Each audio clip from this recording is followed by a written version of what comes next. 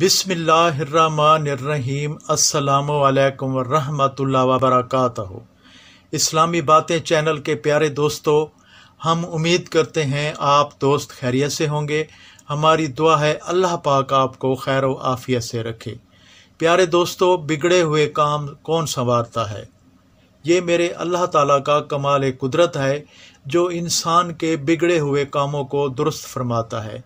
اور اللہ تعالیٰ ارشاد فرماتے ہیں، اللہ پاک کے بہت سارے نام ہیں جو پاک ہیں۔ ان ناموں سے اپنے رب کو پھکارو۔ اللہ تعالیٰ ارشاد فرماتے ہیں، لوگوں، مجھ سے مانگو، میں قبول کروں گا۔ میرے دوستو، اللہ تعالیٰ کے بے شمار نام ہیں۔ ہر نام کی اپنی ایک عظیم سلطنت ہے۔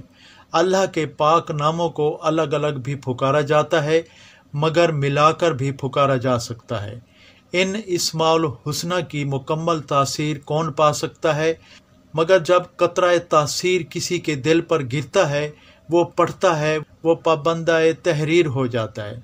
آج کی اس ویڈیو کے اندر میں اللہ وحدہ لا شریک کے چار ناموں کے ایک بہت ہی خاص وظیفہ جو آپ دوستوں کے سپرد کروں گا دو نام ملا کر اور دو نام الگ الگ کر کے ان کا ہے جو وظیفہ آپ نے کرنا ہے، اس طرح یہ تین شمار کیے جائیں گے۔ اور الگ الگ اگر پڑھیں گے، اللہ پاک کے یہ جو چار نام بنیں گے، ان کا جو وظیفہ آپ کسی بھی مصیبت میں، پریشانی میں پڑھیں گے، تو انشاءاللہ اللہ آپ کی مرضی کے مطابق آپ کے مسائل، آپ کی مشکلات اللہ کے فضل و کرم سے ضرور حل ہوں گے۔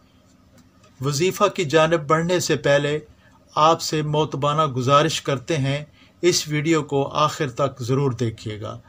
اگر آپ ہمارے چینل اسلامی باتیں پر نئے ہیں، تو اس چینل کو ضرور سبسکرائب کر دیں اور ساتھ میں لگے بیل کے بٹن کو بھی پریس کر دیں تاکہ نئی آنے والی ویڈیوز کا نوٹفیکیشن بر وقت آپ کو ملتا رہے۔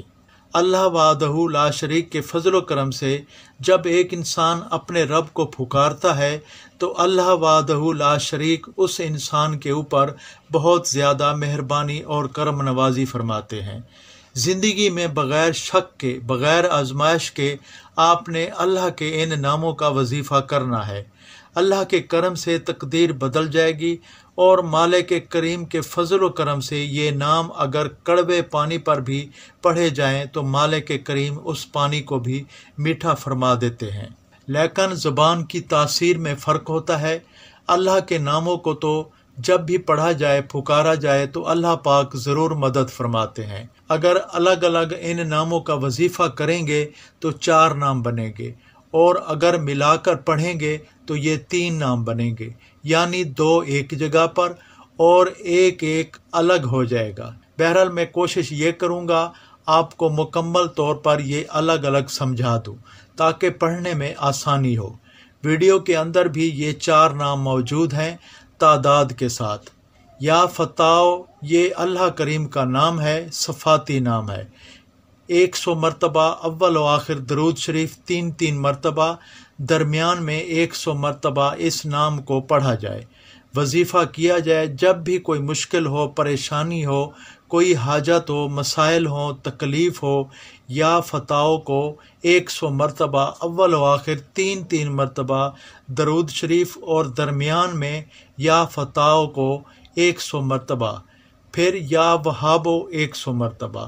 اول و آخر تین مرتبہ درود پاک، پھر یا رضا کو ایک سو مرتبہ، اول و آخر تین تین مرتبہ درود پاک پڑھنا ہے۔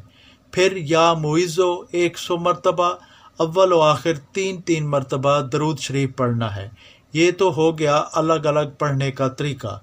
اب اگر کہیں یہ وظیفہ زیادہ لمبا ہے، ٹائم زیادہ لگتا ہے، اسے ہم کیسے کریں گے؟ یا فتح یا بہابو دونوں کو ملا کر اول و آخر درود شریف تین تین مرتبہ اور درمیان کے اندر یہ دو نام یا فتح یا وہابو ملا کر پڑھیں گے ایک شمار ہوگا۔ یہ صرف ایک سو مرتبہ اور الگ میں یا رضا کو سو مرتبہ اور یا معزو سو مرتبہ۔ الگ میں اول و آخر سارے وظیفے کے ساتھ سات سات مرتبہ درود شریف پڑھ لیں۔ تین تین مرتبہ پڑھ لیں۔ جتنی بھی آپ کو توفیق ہو۔ آپ اس صورت میں پڑھ سکتے ہیں۔ ان شاء اللہ تبارک تعالیٰ یہ ایسا وظیفہ ہے جو گھنٹوں میں آپ کی قسمت کو بدل کر رکھ دے گا۔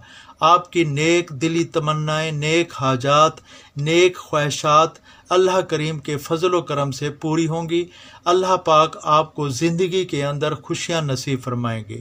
ہمارا اس بات پر ایمان اور یقین ہے، جب بندہ مومن اپنے رب کو ان ناموں سے پھکارتا ہے، اللہ پاک اسے بے شمار خزانوں سے، عزتوں سے مالا مال فرما دیتے ہیں۔ بہت ہی آسان طریقے سے میں نے آپ کو وظیفے کا طریقہ سمجھا دیا ہے۔ الگ الگ پڑھنا ہے تو یہ چار نام بنے گے۔ اگر سو سو مرتبہ پڑھنا ہے اور ملا کر پڑھنا ہے، یا فتح یا وہابوں کو ملا کر یہ ایک نام شمار ہوگا۔ سو مرتبہ پڑھ لیں اور پھر یا رضا کو ایک سو مرتبہ، یا معزو ایک سو مرتبہ۔ اول و آخر درود پاک پڑھ لیں۔ اللہ کریم ہم سب کا حامی و ناصر ہو، اپنی نیک اور مخلصانہ دعاؤں میں ہمیں بھی ضرور یاد رکھا کریں۔ ہم پھر ملیں گے اگلی ویڈیو میں۔ السلام علیکم ورحمۃ اللہ وبرکاتہ۔